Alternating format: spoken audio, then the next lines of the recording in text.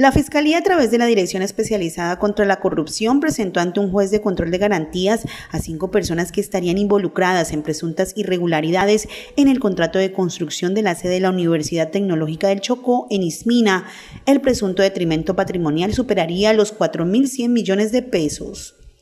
Entre funcionarios y particulares que estarían involucrados en presuntas irregularidades en el contrato de construcción de la sede de la Universidad Tecnológica del Chocó en Itzmina, obra que nunca concluyó.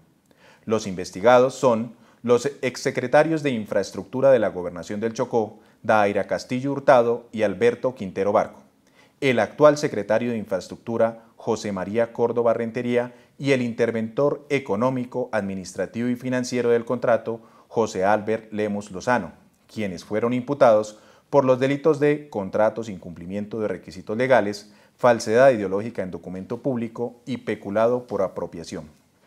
Adicionalmente, fue imputado el secretario de Planeación de Exmina, Deisir Alonso Bonilla Martínez, por el delito de prevaricato por acción.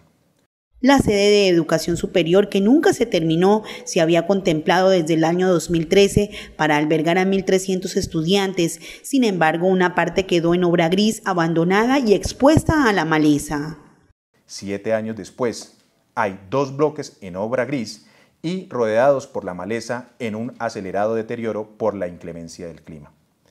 En las investigaciones se constató que el terreno escogido, al parecer, no era apto para soportar una infraestructura de este tipo y adicionalmente se estableció que las obras habrían iniciado sin licencia de construcción y sin tener en cuenta parámetros definidos en las normas de sismo resistencia.